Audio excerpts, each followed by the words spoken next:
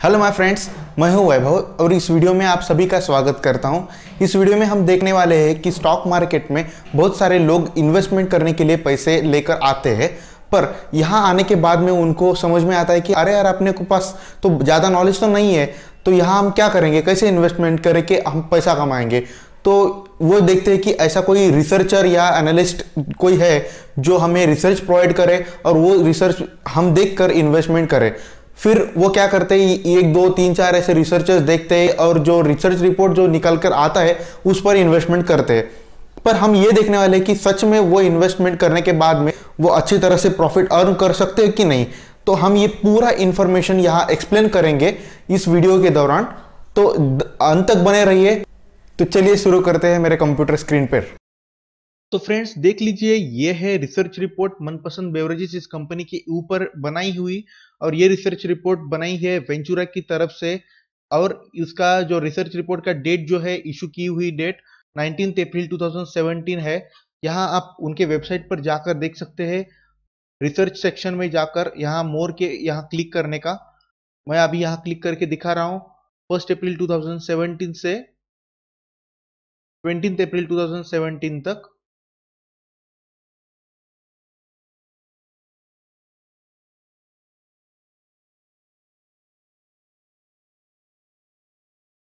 उन्होंने दी हुए, देखो, मनपसंद बेवरेजेस लिमिटेड तो ये कंपनी में, ये जो पीडीएफ है मैंने ऑलरेडी डाउनलोड किया था, इसलिए मैं यहाँ डायरेक्टली आपको लेकर आ रहा हूँ। तो उन्होंने इस यहाँ बताया था कि उसका प्राइस है seven hundred and nineteen rupees जिस टाइम पे उन्होंने ये रिसर्च रिपोर्ट अपडेट किया था।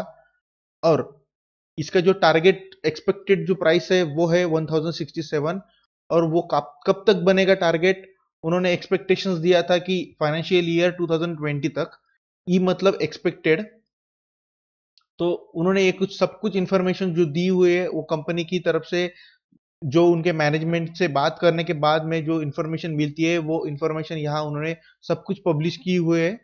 आप रीड कर से, करके देख सकते हो कि उनका बिज़नेस किस सेक्टर में सेगमेंट में उनके प्रोडक्ट कौन से कौन से है और वहाँ उस कंपनी का जो प्रोडक्शन यूनिट कहाँ है उनका एक्सपेक्टेड सेल्स कितना है वगैरह सब कुछ उन्होंने दिया हुआ है 2016 और उनके उसके पिछले ईयर्स को देखते हुए उन्होंने फाइनेंशियल रिपोर्ट्स को एनालिस करने के बाद में उन्होंने 2017, 18, 19 और 20 इस चारों साल का उन्होंने रिसर्च करके उन्होंने एक्सपेक्टेशंस कुछ दिए हुए हैं और उसके बिना पर उसके बेसिस पर उन्होंने टारगेट प्राइस वन थाउज़ेंड उन्होंने पब्लिश किया हुआ है।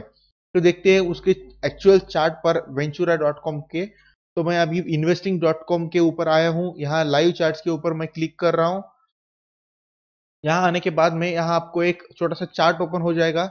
ये हम अभी उसको फुल स्क्रीन में करेंगे कन्वर्ट अभी मैं यहाँ मनपसंद बेवरेजेस इस कंपनी का स्क्रिप्ट कोड डाल रहा हूँ।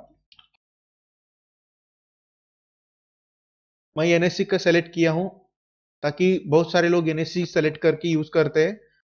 यहाँ 15 मिनट चार्ट उन्होंने पब्लिश किया हुआ है। मैंने अभी इसको शिफ्ट करके वन वीक के ऊपर लेकर आ जाता हूँ। देखो, ये जो चार्ट जो है, अब इसका सिर्फ़ ट्रेंड देख लीजिए। यहाँ से लेकर यहाँ तक ऊपर अप ट्रेंड था। ये 2017 तक। आपको अगर ईयर देखना है तो नीचे देख सकते हो। ट्वेंटी सेवन नवंबर टू दिखा रहा है अभी। तो अप ट्रेंड वहाँ था। अचानक से मार्केट यहाँ से क्रैश हुआ है उस कंपनी का प्राइस तो क्या हो गया? इसका रीजन आपको मालूम नहीं, मुझे भी नहीं कंपनी को भी मालूम नहीं रहता है। सिर्फ़ और सिर्फ़ फाइनेंशियल जो रहते हैं, वो उनके जो फंडामेंटल एनालिसिस जब आप करोगे, आपको ये सब कुछ इंफॉर्मेशन पता चलेगा। तो देखिए, ये कंपनी जो है, इस कंपनी ने आईपीओ निकाला था सबसे पहले वन फिफ्टी पे सिक्स जुलाई 2015 को।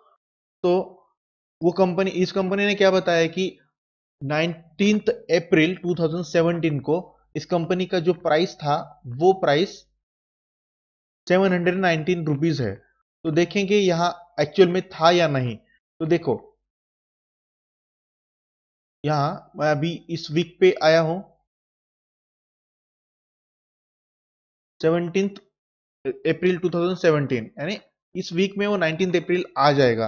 तो देखो, ऊपर देख सकते हो, उसका open price three sixty one rupees fifty paisa high three sixty five rupees ninety eight paisa low three fifty two rupees fifty paisa और close three fifty eight rupees seventy paisa आप बोलोगे कि ये प्राइस और ये price उसके जो दिखाई हुई जो प्राइस है, ये price seven hundred and nineteen rupees ये प्राइस और वो जो दिखा रहे है, ये प्राइस यहाँ चार्ट में, उसमें डिफरेंस बहुत ज़्यादा है।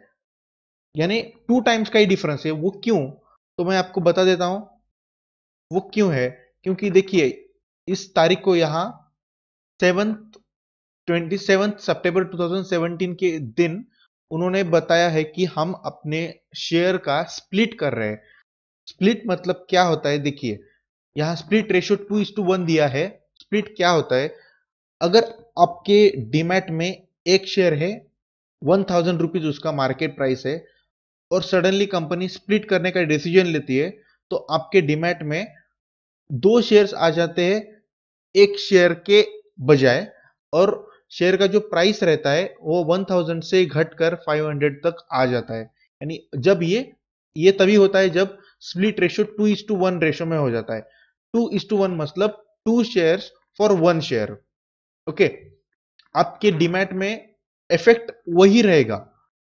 जो इफ़ेक्ट है, जो जो कुछ भी वॉल्यूम या वैल्यू है, वो वही रहेगी।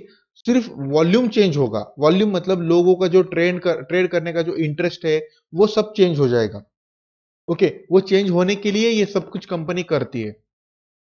तो कंपनी को जब लगता है कि बहुत ज़्यादा प्राइस हुआ है अपने कंपनी का और लोग, जो ट्रेडर्स है, वो लोग ट्रेडर्स या इन्वेस्टर्स वो अवॉइड कर रहे हैं इस कंपनी को कि सिर्फ़ और सिर्फ़ प्राइस हाई होने से तो कंपनी ये करती है कि स्प्लिट करती है उस कंपनी शेयर का। यानी एक शेयर की बजाय दो शेयर बस। बाकी कुछ नहीं है। तो आप देख सकते हो यहाँ यहाँ उसका प्राइस जो है, वो है three sixty one rupees fifty पैसा तो उसका price seven twenty two rupees actual price था उस टाइम पे जब, जिस टाइम में, जिस टाइम पे ये कंपनी ने रिसर्च पब्लिश किया था। यानी अप्रोक्सीमेटली हम जो बता रहे हैं कि वो ये जो प्राइस जो रिप्रेजेंट हो रहा है, वो वो एक्चुअल में उसी के लेवल पर बता रहा है।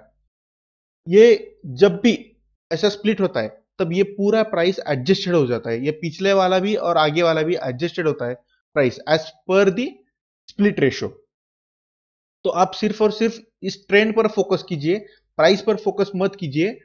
तो देखिए, ये प्राइस जो है वो अप ट्रेंड में चला गया था। अचानक से ये क्रैश हुआ है। ये क्रैश क्यों हुआ? नॉर्मली किसी को भी पता नहीं रहता है, पर फंडामेंटल जो रहते हैं, फंडामेंटल्स मतलब मार्केट या उनके कंपनी के जो फाइनेंशियल रिपोर्ट्स निकल के आते हैं, उसके उसके ऊपर जब अपन, हम गौर से देखते हैं कि वो उसमें क्या चेंजेस हो रहे हैं एक्सपेक्टेड जो है, बनाया हुआ रिसर्चर ने, उसके ऊपर वो काम कर रहा है या नहीं सेल्स अच्छी तरह से हो रहा है या नहीं, ये सब कुछ यहाँ अपने को समझ में आता है। इसका मतलब मैं ये बता रहा हूँ कि आपको कौन से भी रिसर्च के ऊपर फोकस या ट्रस्ट पूरा का पूरा ट्रस्ट डालना नहीं चाहिए। तो देखिए, ये क्रैश होकर नीचे आया और अभी उसका प्राइस है फाइव रुपीज़ एटी फाइव पैसा मतलब देखो, इसका प्राइस अगर स्प्लिट होने के बाद में भी अगर देखा जाए तो 1067 डिवाइडेड बाय टू अगर करते हैं तो five thirty three rupees fifty पैसा रहना चाहिए था। पर अभी ये प्राइस क्या है? फाइव रुपीज़ एटी फाइव पैसा यानी पूरा का पूरा अपनी इन्वेस्टमेंट सब कुछ इन्वेस्टमेंट चली गई। यहाँ यहाँ से लेकर, यानी थर्टीथ दिसंबर 2019 से लेकर थर्टींथ अप्रैल 2020 तक इस कंपनी को सिर्फ़ और सिर्फ़ लोअर सर्किट ही लगा है यानी सब के सब सेलर्स ही बैठे हुए बायर एक भी नहीं था। यहाँ से लेकर यहाँ तक, इतने वीक तक। तो ऐसा क्यों हुआ? कभी कभी फाइनेंशियल जो रहते हैं, या फंडामेंटल जो रहते हैं, वो चेंज होते हैं। ये परमानेंट डिक्लाइन है। तो कौन से भी कंपनी में पूरा का पूरा ट्रस्ट जो है, वो दूसरे के ऊपर रख के हम ट्रेड नहीं करना चाहिए।